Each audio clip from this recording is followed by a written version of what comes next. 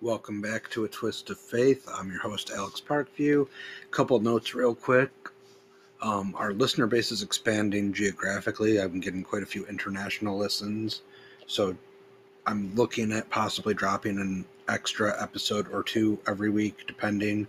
I will maintain the every Wednesday for certain, but in the future, there may be one or two extra episodes put out a week, depending on time and life and just all kinds of everything. But I'm hoping to at least be able to put out two to three a week. So we'll see.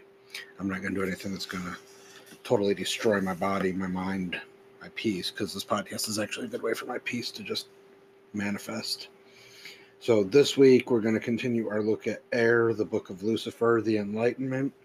We're going to pick back up in some evidence of a new satanic age right after the seven deadly sins were addressed previously. So we're going to pick up where we left off last week. Stay tuned for that. Some evidence of a new satanic age. Times have changed. Religious leaders no longer preach that all of our natural actions are sinful. We no longer think sex is dirty, or that taking pride in ourselves is shameful, or that wanting something someone else has is vicious. Of course not. Times have changed. If you want proof of this, just look at how liberal the churches have become, why they're practicing all the things that you preach. Satanists hear these and similar statements all the time, and they agree wholeheartedly. But if the world has changed so much, why continue to grasp at the threads of a dying faith? If many religions are denying their own scriptures because they are out of date and are preaching the philosophies of Satanism, why not call it by its rightful name? Satanism. Certainly, it would be far less hypocritical. In recent years, there has been an attempt to humanize the spiritual concept of Christianity. This has manifested itself in the most obvious non spiritual means. Masses which had been said in Latin are now said in native languages, which only succeeds in making the nonsense easier to understand, and at the same time robs the ceremony of the esoteric nature which is consistent with the tenets of dogma. It is much simpler to obtain an emotional reaction using words and phrases that cannot be understood than it is with the statements which even the simplest mind will question when hearing them in an understandable language. If priests and ministers were to have used the devices to fill their churches 100 years ago that they use today, they would have been charged with heresy, called devils, oft times persecuted but certainly excommunicated without hesitation. The religionists wail, We must keep up with the times, forgetting that, due to the limiting factors and deeply ingrained laws of white light religions, there can never be sufficient change to meet the needs of man. Past religions have always represented the spiritual nature of man, with little or no concern for his carnal or mundane needs. They have considered this life but transitory and the flesh merely a shell. Physical pleasure trivial, and pain a worthwhile preparation for the kingdom of God. How well the utter hypocrisy comes forth when the righteous make a change in their religion to keep up with man's natural change. The only way that Christianity can ever completely serve the needs of man is to become as Satanism is now. It has become necessary for a new religion based on man's natural instincts to come forth. They have named it. It is called Satanism. It is that power condemned that has caused the religious controversy over birth control measures, a disgruntled admission that sexual activity for fun is here to stay. It is the devil who caused women to show their legs, to titillate men, the same kind of legs now socially acceptable to gaze upon, which are revealed by young nuns as they walk about in their shortened habits. What a delightful step in the right or left direction. Is it possible we will soon see topless nuns sensually throwing their bodies about to the Missa Solemnis rock? Satan smiles and says he would like that fine. Many nuns are very pretty girls with nice legs. So again, you have LaVey kind of stretching some truths. I mean, yeah, there is evidence of religions kind of pandering to people and again, it kind of falls more with Catholicism than the like more diehard Christian sects, like uh, the Pope not condemning politicians due to their beliefs. still allowing them to participate in Catholic Mass and put up the appearance that they're good people, despite the fact that they are in full support of things, which I'm not saying they're wrong to support. Like I said, disclaimer, no judgment, etc. You've heard this from before. I just I'm repeating it because it might be the first episode you're listening to. But it does not mesh with the religion that they claim to ascribe to. Like you cannot be a Catholic and think that abortion is a good thing now Catholics have this whole thing called uh, dogmatic law. And I forget the exact term. It's actually mentioned in the movie Dogma by Kevin Smith, which I've referenced. But it's the um, as above, so below tenet of the Catholic faith. Like, as you hold it true on earth, I shall hold it true in heaven. And a lot of people kind of take that to mean that they can recreate the Catholic faith again in the actual bible there's no mention of a pope so i mean the whole catholic faith is honestly kind of a stretch that it was just created for power and money and just the ability to control people but catholic faith in all of its teachings has always said that the old testament the ten commandments abortion tattoo the catholic faith is one of the harshest religions the most judgy, judgmental doctrines. But now, in modern times, they're trying to reinvent themselves and reinvent God using papal law, which is when the Pope says something is so, and then ascribing that to as you hold it here on earth because the Pope said so, God has it true in heaven. Well, the Pope is fallible, God is infallible, again, according to the religious texts. So I'm just, I mean, I try to reserve and kill off my personal bias when I talk about this stuff, but you, will figure out pretty quickly I'm not big on the Catholic faith just because I think it's a load of shit. I'm sorry, but I just do. If you disagree, please show me some proof to the contrary as to why it's a good, worthwhile religion. I just, I don't get it. Uh, as I was raised Roman Catholic, so I really do know a lot about the Catholic faith. Again, the whole studying thing when I was little but that's also the faith that pushed me to study everything else because it was just so fucking dumb. So, but again, slightly off topic, LaVey is talking about and mocking pretty much the Catholic faith because he says that these they're preaching the philosophies of Satanism. He says uh, the attempts to humanize like the masses in Latin that was a big Catholic thing Like I can't really speak Latin worth a damn, but I remember growing up in the Roman Catholic Church, like on holidays, they would actually do the uh, Mass in Latin, like Christmas, Easter, all the fancy, important ones where they busted out the pretty colorful robes. They would go nuts, and it was Latin, and it was like a big performance. Like the Catholic faith is a performance piece to me. But he says now they just do it all in languages that are easy to understand and you can't really believe it when you hear it in simple dum dum terms, I guess is what LaVey's saying here, because he says it's much simpler to obtain an emotional reaction using words and phrases that cannot be understood. So as soon as you can understand the words and phrases, you, you pretty much have to question it if you have a brain.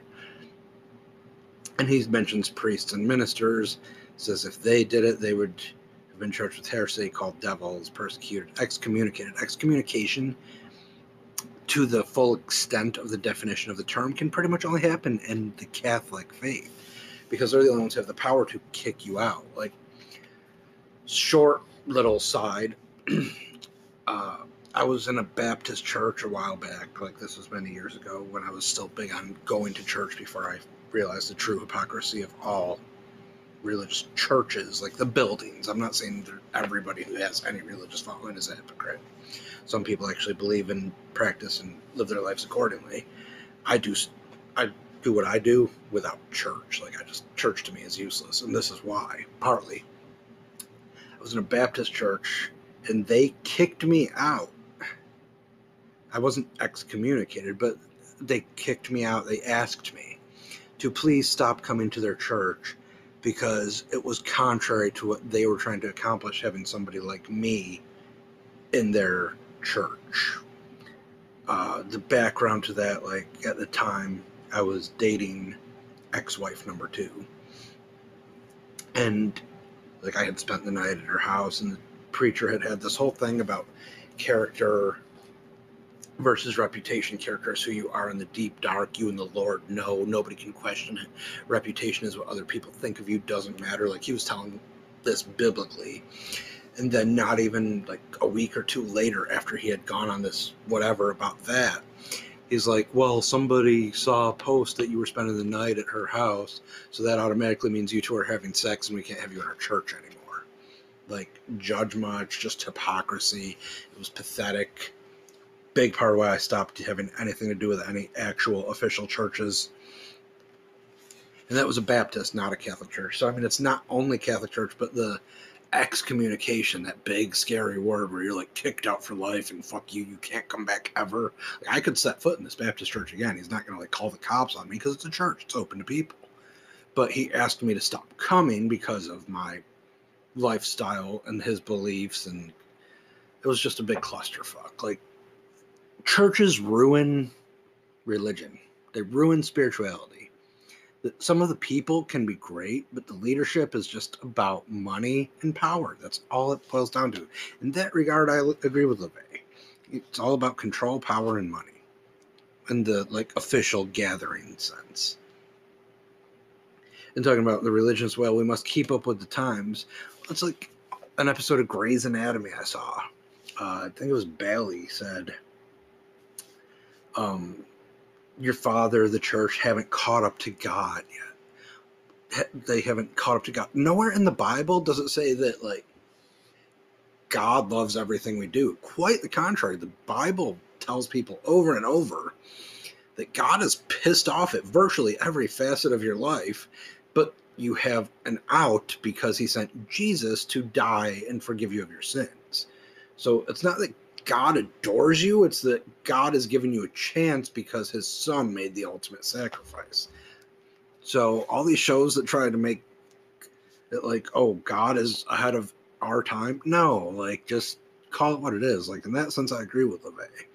You can't say they haven't caught up to God because God made his feelings very clear. Leviticus, the Ten Commandments, the Old Testament, and Jesus sacrificed, died on the cross to atone for all the sins. Again, that's Christian faith, but it's just I'm going off of LaVey talking about the churches talking about we must keep up with the times. so he's right when he says that the past religions have always represented the spiritual nature of man. Even the again Christian Bible, past religions. Uh, Matthew six thirty three.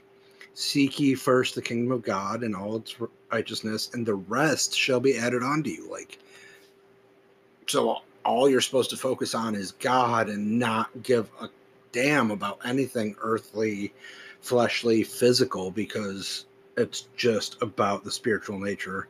There's no concern for your carnal or mundane needs. So see, like LaVey sucked at the seven deadly sins. He really did. If you caught, didn't catch last week's episode, give it a listen. You'll see what I'm talking about. Sucked at the seven deadly sins, but he makes up for it here because he makes some valid points. And the thing here about it is the devil who caused women to show their legs, titillate men. Well, that goes back to like witch hunts and all these people that said that they got their power from Satan, let alone Hecate, the goddess crone and mother that uh, supposedly gives the Wicca uh, faction their powers. Faction just being the first word I could think of to kind of fit it in the group of people.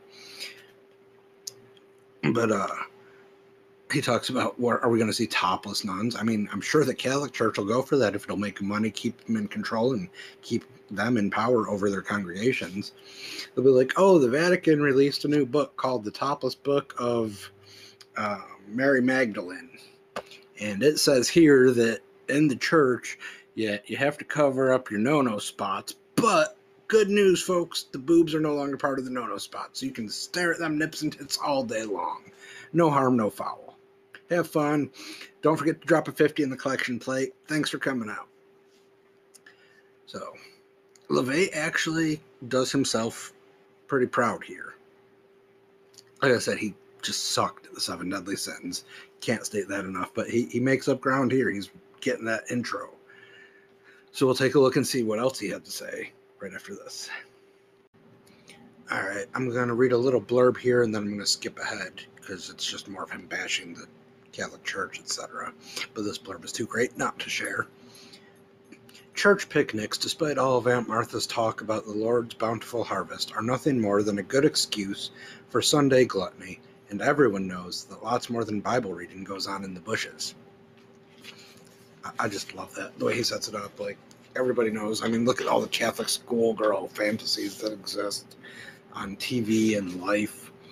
Uh, ask any dude, and at some point or another, they fantasized about a Catholic schoolgirl when they were younger. It's just like, bingo, you nailed it there, LaVey. Had to mention that because bravo, good job. but then we're going to skip ahead about a page and a half. And he goes Satanism advocates practicing a modified form of the Golden Rule. Our interpretation of this rule is do unto others as they do unto you, because if you do unto others as you would have them do unto you, and they in turn treat you badly, it goes against human nature to continue to treat them with consideration. You should do unto others as you would have them do unto you. But if your courtesy is not returned, they should be treated with the wrath they deserve. White witchcraft groups say that if you curse a person, it will return to you threefold come home to roost, or in some way boomerang back to the sender. This is yet another indication of the guilt ridden philosophy which is held by these neo pagan pseudo Christian groups. White witches want to delve into witchcraft but cannot divorce themselves from the stigma attached to it. Therefore, they call themselves white magicians and base 75% of their philosophy on the trite and hackneyed tenets of Christianity anyone who pretends to be interested in magic or the occult for reasons other than gaining personal power is the worst kind of hypocrite. The Satanist respects Christianity for at least being consistent in its guilt ridden philosophy. Again, that's more Catholic than Christian, just a quick aside. But can only feel contempt for people who attempt to appear emancipated from guilt by joining a witchcraft group and then practice the same basic philosophy as Christianity. White magic is supposedly utilized only for good or unselfish purposes, and black magic, we are told, is used only for selfish or evil reasons. Satanism draws no such dividing line. Magic is magic, be it used to help or hinder. The Satanist, being the magician, should have the ability to decide what is just, and then apply the powers of magic to attain their goals. During white magical ceremonies, the practitioners stand within a pentagram to protect themselves from the evil forces which they call upon for help. To the Satanist, it seems a bit two faced to call on these forces for help, while at the same time protecting yourself from the very powers you have asked for assistance. The Satanist realizes that only by putting himself in league with these forces can he fully and unhypocritically utilize the powers of darkness to his best advantage. In a satanic magical ceremony, the participants do not join hands and dance, ring around the rosy in a circle, burn candles of various colors for various wishes, call out the names of Father, Son, and Holy Ghost, while supposedly practicing the black arts pick a saint for their personal guide and obtaining help for the problems, dunk themselves in smelly oils and hope the money comes in, meditate so they can arrive at a great spiritual awakening, recite long incantations with the name of Jesus thrown in for good measure between every few words, etc., etc., etc., ad nauseum. You can tell the tones of disgust LaVey has there.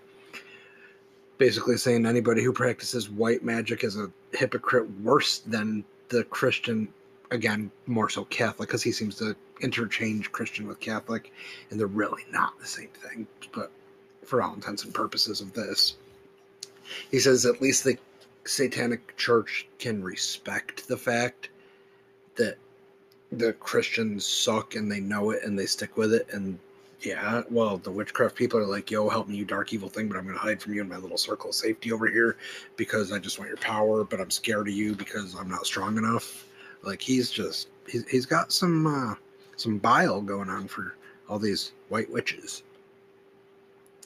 Because this is not the way to practice satanic magic. If you cannot divorce yourself from hypocritical self deceit, you will never be successful as a magician, much less a Satanist. The satanic religion has not merely lifted the coin, it has flipped it completely over. Therefore, why should it support the very principles to which it is completely opposed by calling itself anything other than a name which is totally in keeping with the reversed doctrines which make up the satanic philosophy? Satanism is not a white light religion. It is a religion of the flesh, the mundane, the carnal, all of which are ruled by Satan, the personification of the left hand path. Inevitably, the next question asked is granted, you can't call it humanism because humanism is not a religion, but why even have a religion in the first place if all you do is what comes naturally, anyways? Why not just do it? And then he goes into a little bit of a boring, to me at least, explanation talking about psychiatry ruined um, people's concepts of fantasy and dogma and basically thinks that humans need dogma, which is the theatrical fantasy enchantment to survive with their beliefs. It's a good like page, half a page, three quarters of a page right there. Not really gonna get into that because it didn't really do anything for me. And he talks a little bit more about that and says that uh, it is high time that human beings stopped fighting themselves and devoted their time to building temples designed for man's indulgences. Even though times have changed and always will, man remains basically the same. For 2,000 years, man has done penance for something he never should have had to feel guilty about in the first place. Now remember, LaVey actually got original sin wrong. I'm pretty sure that's kind of what he's referencing there, but he said original sin is fornication, which in any of the religions which he mocks or blames or reverse dogmatizes here, the original true original sin was not fornication, but it was the eating of the fruit from the tree from the knowledge of good and evil uh, adam and eve eating the forbidden fruit like that whole story of the serpent in the garden we're all taught as children. That is actually the original sin eating that fruit of the knowledge of good and evil against the command of god. So he, he got the original sin wrong. Just quick reminder on that. We are tired of denying ourselves the pleasures of life which we deserve Today, as always, man needs to enjoy himself here and now instead of waiting for his rewards in heaven. So, why not have a religion based on indulgence? Certainly, it is consistent with the nature of the beast. We are no longer supplicating weaklings trembling before an unmerciful God who cares not whether we live or die. We are self respecting, prideful people. We are Satanists. Now, back when we discussed LaVey and the seven deadly sins, you remember, of course, he talked about pride because that's one of the big old seven deadlies.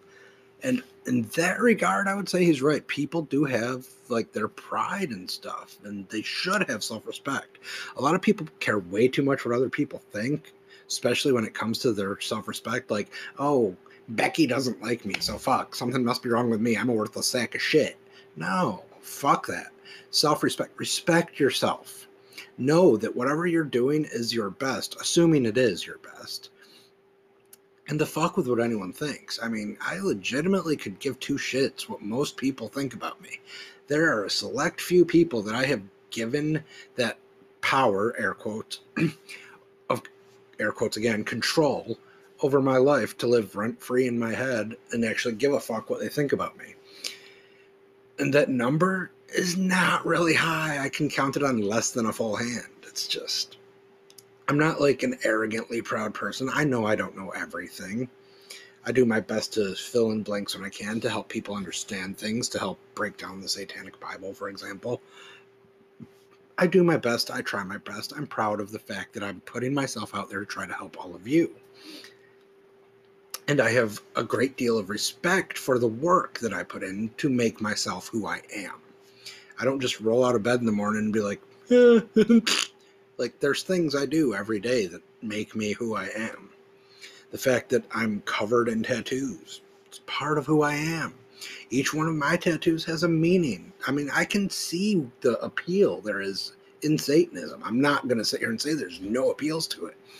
LaVey just kills it because he's too obsessed with taking down and mocking the Catholic more so than Christian. Again, he interchanges the two, but he's mostly hating on Catholicism if you know the difference between the two.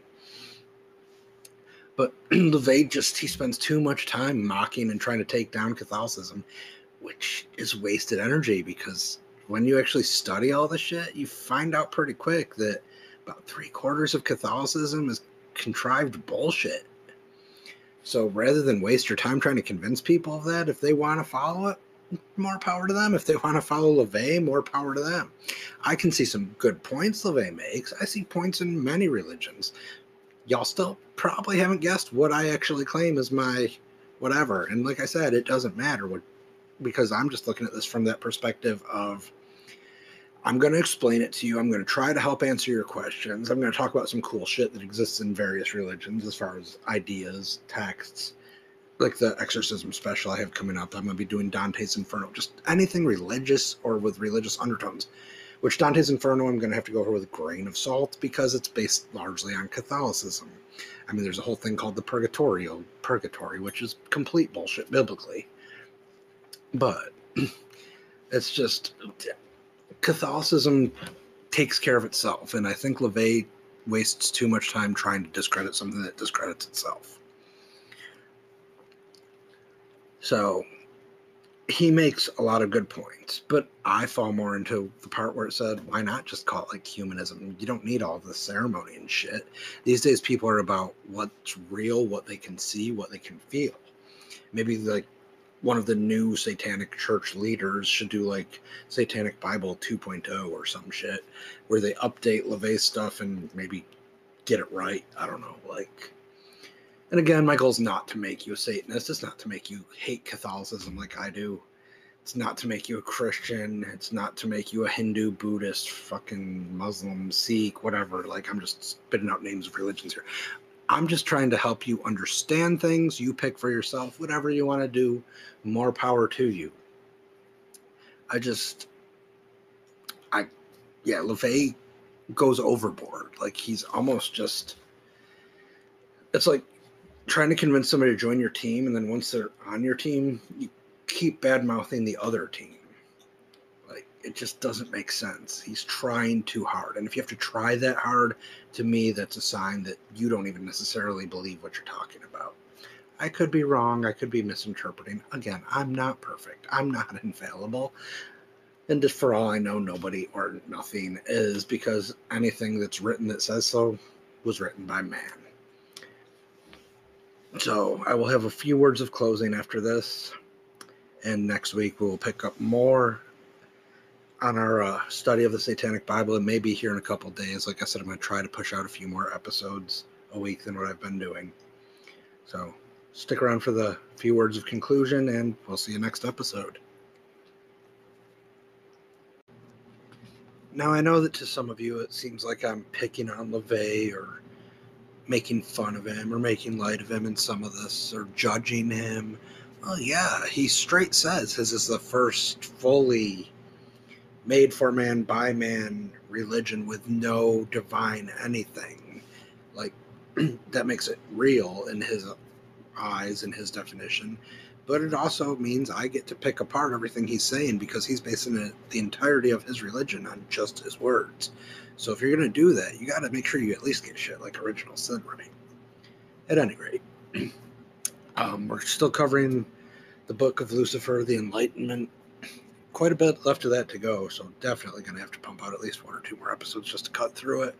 After this book, we're about halfway through the Satanic Bible. And from there, I have something of a rough schedule worked out in my head for what we'll be covering next.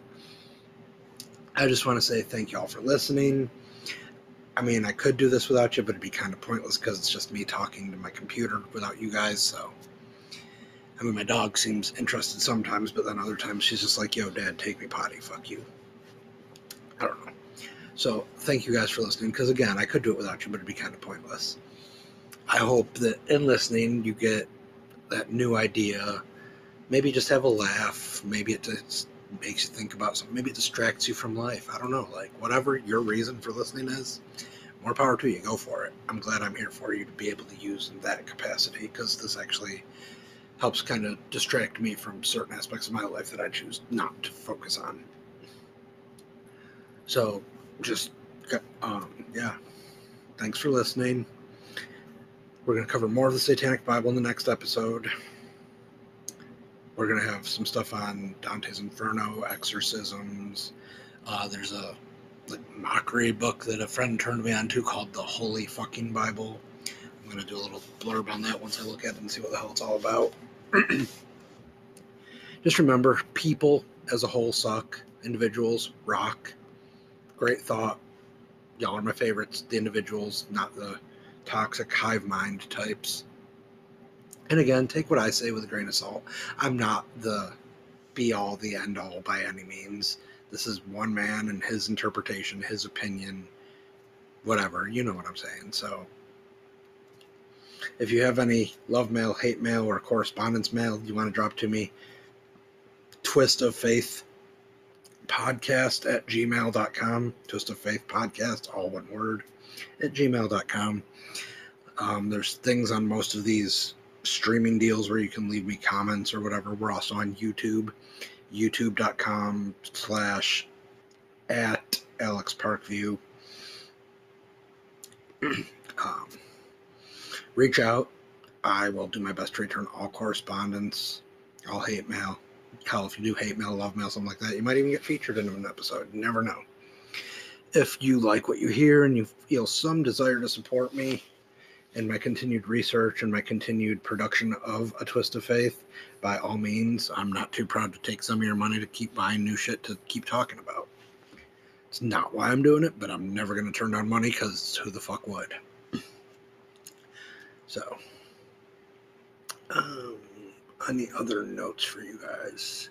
Other than the fact that I'm going to try to put a little bit of an increase in my production schedule, not too much new. Still continuing the deep dive of the Satanic Bible upcoming. Thanks for hanging out with me. Tune in for the next episode. Subscribe, like, share. Please share. Spread the word. I mean, it's cool as fuck that I'm seeing international audience growing in this. That's crazy to me. So just share, share, share. That's the biggest thing I can push out, I guess. Uh, like, review, rate. That all helps boost me in the podcast world of like distribution, I guess, on the things. I'm not 100% how it works. I don't really care. I'm not doing this to become rich and famous. So this has been A Twist of Faith. As always, I'm your host, Alex Parkview, and I look forward to talking to you guys again in the next episode.